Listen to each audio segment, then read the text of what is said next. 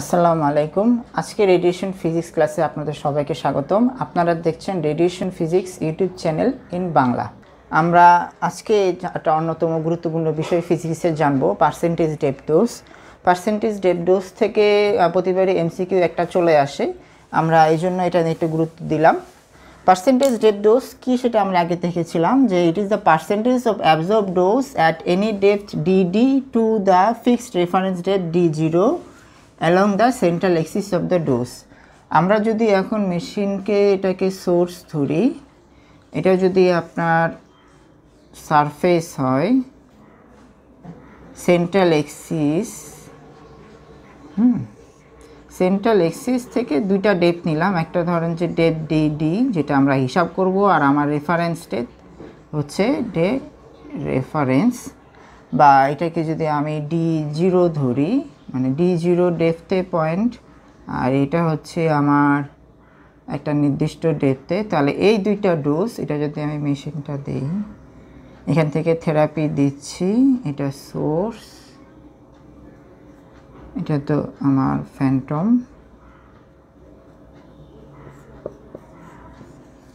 তাহলে আমার হচ্ছে যে ডোজটা এখানে কতটুকু পড়তেছে আর এখানে কতটুকু পড়তেছে, সেটার ডোজটা এখানে কতটুকু পড়তেছে আর এখানে কতটুকু পড়তেছে, সেটার যদি রেশিওর পার্সেন্টেজ আমরা করি, সেটা হচ্ছে পার্সেন্টেজ স্টেপ ডোজ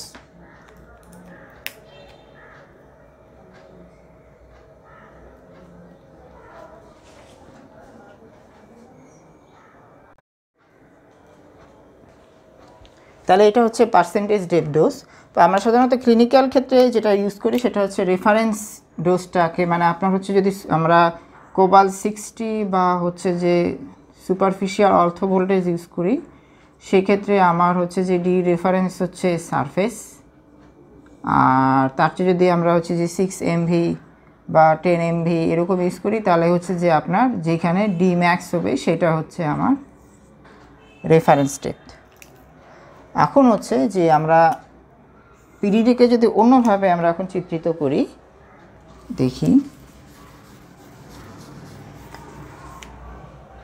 যদি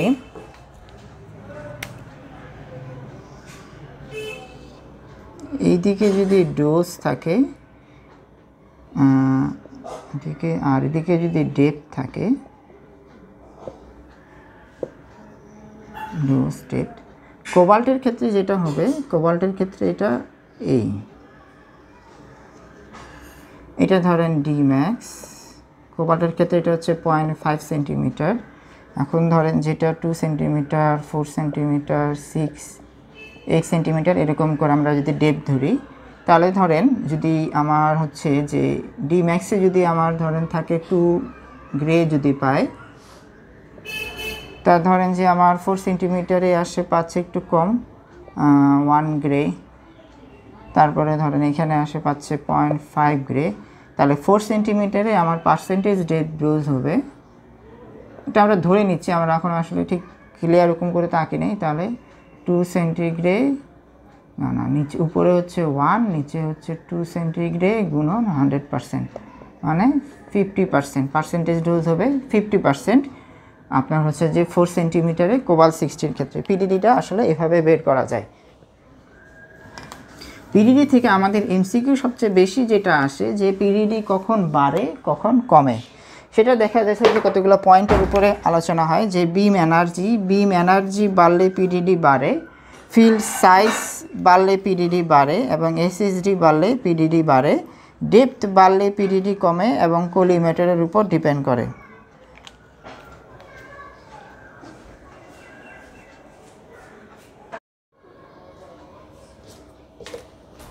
তা এখন আমরা দেখি আসুন আমরা দেখি যে তাহলে বিম এনার্জি বাড়লে কীভাবে আমার পিডিডি বাড়তেছে।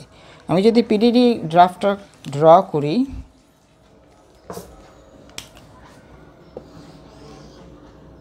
এদিকে যদি পিডিডি থাকে, এদিকে হচ্ছে যে ডোজ কোবাল সিক্সটির ক্ষেত্রে পিডিডি গ্রাফটা হয় অনেকটা এইরকম। সেটা আপনার হচ্ছে যে সিক্স এমবির ক্ষেত্রে হয়ে যাবে এইরকম। এবং এইট এমবির ক্ষেত্রে এইরকম। দেখেন, আপনার যত আমরা ডোজ বাড়াচ্ছি পিডিডির ক্ষেত্রে তো আমরা এটার সাথে এটা তুলনা করব। এটা যদি আমার টু সেন্টিমিটার ফোর সিক্স এইটা এরকম হয়, তো দেখা যাবে যে আমার ডি ম্যাক্সের সাথে তুলনা করি যদি আমি সিক্স সেন্টিমিটারকে তখন দেখা যাবে যে আপনার হচ্ছে যে এখানে দেখা যাবে যে তার পিডিডি আরও বেশি থাকতেছে, যে সিক্স সেন্টিমিটারের পিডিডি থাকতেছে সিক্সটি পার্সেন্ট অপরদিকে কোবাল সিক্সটি পিডিডি হয়ে যাচ্ছে ফর্টি পার্সেন্ট এটা একটা হিসাব, কিন্তু এখান থেকে সবচেয়ে বেশি একটা জিনিস, এটা থেকে প্রশ্ন আসে, যে দেখেন এটার হায়েস্ট ডোজ কিন্তু আমার, এটা যদি সারফেস হয়, এটা তো সারফেস এটা তো ডেপথ যদি সরি এটা ডেপথ এটা সারফেস সারফেস যদি ধরি সারফেসে আপনার হচ্ছে যে সারফেস থেকে একটু দূরে যায়, আপনার হচ্ছে ডিম্যাক্স হচ্ছে। এই টেম্পের ক্ষেত্রে সেখানে কোবাল্টে একটু কাছে। অপরদিকে আমি যদি অর্থ ভোল্টেজ ধরি, অর্থ ভোল্টেজে দেখা যাবে ডিম্যাক্স সি হচ্ছে এইখানে। এখান থেকে আপনার হচ্ছে যে ডিম্যাক্স হচ্ছে এইখানে, এখান থেকে একদম কমে আসে। অর্থ ভোল্টেজটা ডিম্যাক্স থেকে ওইখানে কমে আসে। আচ্ছা আমি একটু অর্থ ভোল্টেজটা একটু আলাদা করে আঁকি।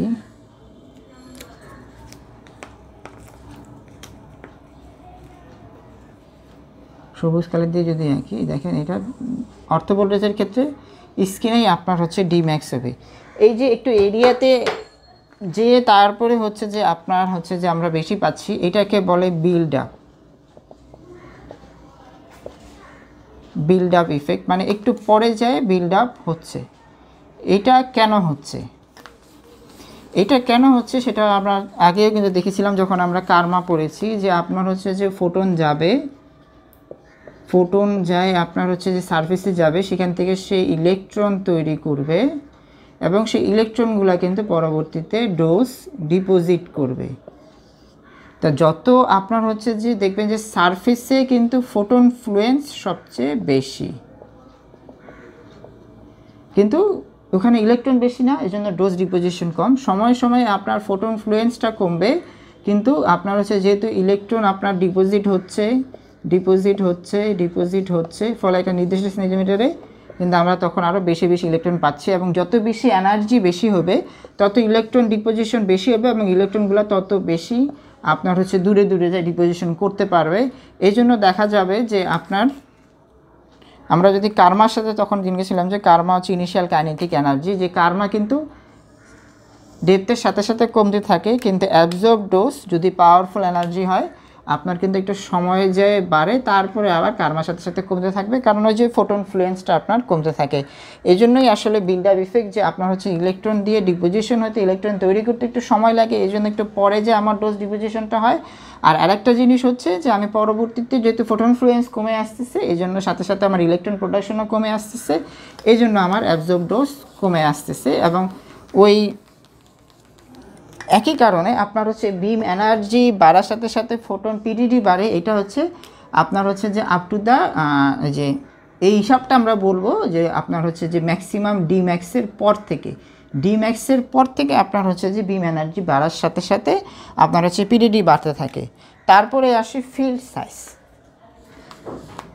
ফিল্ড সাইজের ক্ষেত্রে আবার একটা জিনিস চিন্তা করবেন যে আপনার, দেখি এটা যদি এটা ফিল্ড সাইজ হয়, আর আরেকটার যদি আপনার, এটা ধরেন এখান থেকে আসছে, এটা যদি আমি টেন টু টেন ধরি, আর আরেকটা যদি আরেকটু বড় হয়, ধরেন যে টোয়েন্টি বাই টোয়েন্টি হয়, দেখা গেছে যে ফিল্ড সাইজ বাড়লে আপনার হচ্ছে যে পিডিডি বেড়ে যাচ্ছে। কেন বাড়তেছে? সেটা যদি হিসাব করেন, আমরা যখন জানি যে রেডিওথেরাপি যখন দেওয়া হয়, এর সাথে কিছু আপনার হচ্ছে যে ইলেকট্রন কন্টামিনেশন থাকে হ্যাঁ? কিছু আপনার ইলেকট্রন স্ক্যাটারও কিন্তু ওই ফিল্ডে পড়বে হ্যাঁ? সাথে সাথে আবার কিছু লো ডোজ ফোটন কিছু লো ডোজ ফোটনও সাথে সাথে আপনার ইলেকট্রন ফিল্ডে জমা হয়। এখন দেখা যাবে যে এটার জন্য যদি আমি ফিল্ডটাকে আরও একটু ছোটো করে দেই ফিল্ডটাকে ধরেন আমি আর একটু ছোটো করে দিলাম, তখন কিন্তু আমার এই স্ক্যাটারগুলো সবভাবে যাইতে পারবে না। আরও একটা জিনিস আছে যে এটা দুইটা কারণ, যে আমার লো ডোজ ফোটন আর ইলেকট্রন স্ক্যাটার আরেকটা হচ্ছে যে আমি টিস্যুতে তো আপনার ওই যে রেডিয়েটিভ লস এক্সাইটেশন আয়নাইজেশনের কারণে আশপাশ থেকেও কিছু রেডিয়েশন আসতে থাকে এবং জমা হইতে থাকে। এখন যদি ছোট ফিল্ড হয়, আশপাশ থেকে কম আসবে, বড় ফিল্ড হলে আশপাশ থেকে বেশি আসবে।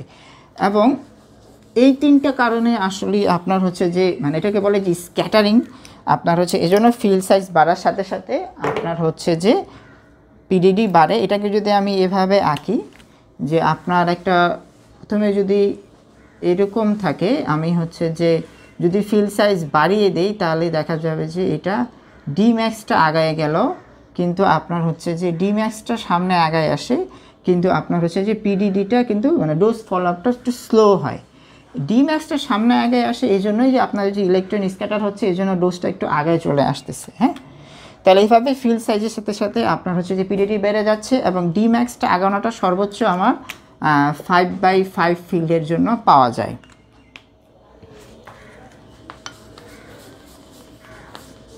তারপরে আসি এসএসডি সোর্স সারফেস ডিস্টেন্স এখন আমরা দেখব যে পিডিডির সাথে কীভাবে এসএসডি ডিফার করে। এসএসডি সাধারণত বাড়লে আপনার কি মনে হচ্ছে? যে এসএসডি বাড়লে হিসাব অনুযায়ী কিন্তু আমার দূরত্ব বেড়ে যাচ্ছে সোর্স থেকে। সেক্ষেত্রে আমার এখানে সত্তর, এখানে একশো। তাহলে এসএসডি বাড়লে পিডিডি বাড়তেছে, শুনতে একটু অবাক লাগতেছে। ব্যাপারটা হচ্ছে যে এসএসডি বাড়লেও পিডিডি কিন্তু আসলে আমরা ডোজ রেটের উপর ডিপেন্ড করে না। ডোজ রেট কিন্তু আমার একশোতে আসলেই কমে যাচ্ছে, কিন্তু পিডিডি ডিপেন্ড করে আমার ডি ম্যাক্সের সাথে কম্পেয়ার করে। ধরেন যে আমার এখানে যদি আমি পিডিডি ধরি আর এখানে যদি ডেপ ধরি, দেখা যাবে যে এসএসডি যদি আমার কম থাকে, এটা যদি এইরকম হয় এসএসডি যখন বেশি হবে, তখন সেটা ইনভার্স স্কোয়ার ল ফলো করবে।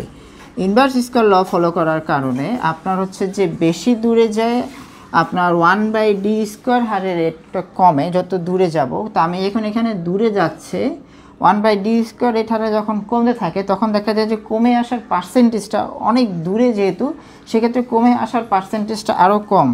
জিনিসটা আসলে ধরেন যে তলা তখন পিডিডিটা কমে এরকম করে। এটা যদি আমি একটু পরে আপনাকে বুঝাই, যে যেমন ধরেন যে আপনার হচ্ছে যে একটা জায়গায় আপনার ডোজ ছিল ষোলো হ্যাঁ? তার থেকে এক সেন্টিমিটার দূরে যদি আমি ওটাকে স্কোয়ার ফর্মুলায় নিয়ে আসি, তাহলে এটাকে যদি ওয়ান বাই আপনার হচ্ছে যে যদি আমি একটা স্কোয়ার করি, তাহলে তখন সেটা চলে আসে ফোর এবং তার থেকে এক সেন্টিমিটার দূরে চলে আসবে আপনার ওয়ান। এখন যখন দূরত্ব বেশি হবে, দেখেন ফোর থেকে একের ডিফারেন্স মাত্র কিন্তু থ্রি সেন্টিমিটার কিন্তু কমে ফোর থেকে ষোলোর ডিফারেন্স কিন্তু আপনার পনেরো সেন্টিমিটার মানে খুব দ্রুত কমে যাচ্ছে। এটা এভাবে বোঝায় না দিয়ে, এটা খুব সুন্দর একটা গাণিতিক ব্যাখ্যা দেখলাম বইতে দেওয়া আছে, যে আপনার হচ্ছে যে এসিসিটি ধরেন যে সত্তর সেন্টিমিটার এই যে সোর্স থেকে সারফেস সত্তর সেন্টিমিটার আর ডেপ যদি আমি টেন সেন্টিমিটার আর এক একটা জায়গায় এসএসডি আমার হান্ড্রেড সেন্টিমিটার তার ডেপ টেন সেন্টিমিটার আমি ডেপটা সমান রাখছি।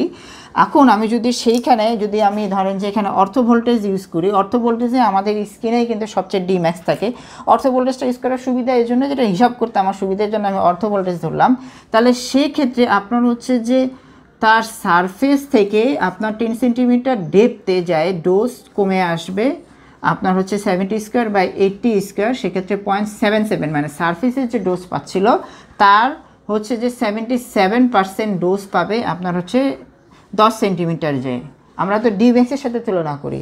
কিন্তু যদি যখন আমার এসএসডি হবে হান্ড্রেড টেন সেন্টিমিটার ডেপথ হবে টেন সেন্টিমিটার তখন আমি যদি ডোজটা ধরি যে hundred by hundred ten square সেক্ষেত্রে সেটা চলে আসছে পয়েন্ট এইটে যেটাকে গুণ করলে আমার এইটটি এইট পার্সেন্ট যদিও আমি যদি টোটাল ডোজের হিসাবে হিসাব করি যে এখানে যদি আমি হচ্ছে যে টু গ্রে দেই আর এখানে যদি টু গ্রে দেই হয়তো বা দেখা যাবে যে আপনার হচ্ছে যে আলটিমেটলি দূরত্বের কমের জন্য আমার স্কিনে আমি যদি একই আপনার হচ্ছে যেটাকে তো কোবাল্টেতে আমরা সেকেন্ডের হিসাব করি আর লাইনাকে এমিউ দ্বারা হিসাব করি, দেখা যাবে যে আমি যদি এখান থেকে টু গ্রে দিই, এখানে আমার আসতেছে হয়তো বা পয়েন্ট ফাইভ গ্রে আর সেখানে হয়তো এখানে পয়েন্ট সিক্স গ্রে আমার আলটিমেটলি ডোজটা কমে আসতেছে, কিন্তু তখন দেখা যাবে যে দশ সেন্টিমিটারের পরে এখানে আসতেছে আমার তার যদি আমি সেভেন্টি সেভেন পার্সেন্ট ধরি, যে পয়েন্ট সিক্সে seven seven percent point four অপরদিকে আমার এখানে পয়েন্ট ফাইভ তার এইটটি এইট পার্সেন্ট ধরলে আমার এখানে আসতেছে ধরেন পয়েন্ট ফোর ফাইভ ব্যাপারটা হচ্ছে এইরকম যে আপনার হচ্ছে যে ডোজটা কমে আসার রেটটা কম থাকে এই জন্যই আমরা বলি যে পার্সেন্টেজ ডে ডোজ আপনার হচ্ছে যখন এসএসডি বাড়াবো, তখন পার্সেন্টেজ ডে ডোজ পারবে। সাধারণত আমাদের ক্লিনিক্যাল পাশে তাহলে তো মনে করে যে তাহলে আমি এসএসডি অনেক বাড়াই দিব, তাহলে অনেক পার্সেন্টেজ ডোপ ডোজ পাবো, অনেকটা এরিয়া ধরে দেবো। কিন্তু সেটা আসলে সম্ভব হয় না। বর্তমান যে সেটিংয়ে সাধারণত আপনার হচ্ছে যে এইট্টি সেন্টিমিটার থেকে হান্ড্রেড সেন্টিমিটার যে এসএসডি আছে, সেটাকে আইডিয়াল ধরা হয়। আর আপনার হচ্ছে যে পিডিডি তো শুধুমাত্র আমরা যখন এসএসডি পদ্ধতিতে করি তখন, কারণ হচ্ছে যে পরবর্তীতে আমরা যখন আমরা যে টিপিআর টিএমআর এগুলো পড়েছিলাম, সেটা কিন্তু আপনার হচ্ছে যে এসিডি পদ্ধতিতে এসিডি পদ্ধতিতে আর এই এসডিডির উপর কোনো ডিপেন্ডেন্স থাকে না। গ্রাফে অনেক এভাবে দেখাইতে চাই যে আপনার হচ্ছে যে যখন এসএসডি কম থাকবে, তখন হচ্ছে যেটা এরকম করে যদি কমে এসএসডি বাড়লে, তখন এইভাবে আপনার হচ্ছে যে কমবে। ফলে আমরা তো ডিম্যাক্স এইটার সাথে এটার তুলনা করি, এটার সাথে এটার তুলনা করি, তখন দেখা যাবে যে আপনার পিডিডি অনেক কমে আসতেছে। আর আরেকটা হচ্ছে ডেপথ ডেপথ এখানে যদি ডেপ তো আপনার হচ্ছে যে ডেপথ বাড়লেতে পিডিডি অবশ্যই আপনার হচ্ছে কমবে, কারণ দেখলাম যে ডেপথ এখানে ওই যে আপনার ডেপথ বাড়লে পিরিয়ডি কমবে, ওটা হচ্ছে যে ওই ডি ম্যাক্সের পর থেকে। যে আপনার হচ্ছে এটা ডি ম্যাক্স এটা যদি ফোর সেন্টিমিটার ডেপথ হয়, এটা সিক্স সেন্টিমিটার ডেপথ তাহলে এখানে যদি আপনার সিক্সটি পার্সেন্ট পিরিডি হয়, এখানে তো অবশ্যই টোয়েন্টি পার্সেন্ট পিরিডি হবে ডেপথ বাড়লে পিরিডি কমবে। আর লাস্টে একটা আছে কলিমেটোর, কলিমেটোরটাকে অনেকে বলছে যে পিরিডির ক্ষেত্রে এফেক্ট ফেলে। কলিমেটরটা যদি আপনার ফিল্টার হিসেবে আমরা ইউজ করি, তখন ফিল্টার বাড়ালে আপনার হচ্ছে যে পিডিডি ওই একই রকমভাবে বাড়তে থাকে, তুলনামূলকভাবে। ডোজ রেটটা কমে আসে তুলনামূলক পিডিডি কমার পরিমাণটা হচ্ছে যে কমতে থাকে। পিডিডি কমার পরিমাণটা কম থাকে এই জন্য হচ্ছে যে কলিমিটারের সাথে একটা সম্পর্ক বলা হয়। আমাদের পিডিডির ক্ষেত্রে সবচেয়ে বেশি ইম্পর্টেন্ট হচ্ছে আমরা এই পাঁচটা ফ্যাক্টর জানব এবং কখন বাড়লে, কখন কমে, সেটা জানব, তাহলেই কিন্তু আমাদের এমসিকিউটা কভার হয়ে যাবে। সকলকে ধন্যবাদ।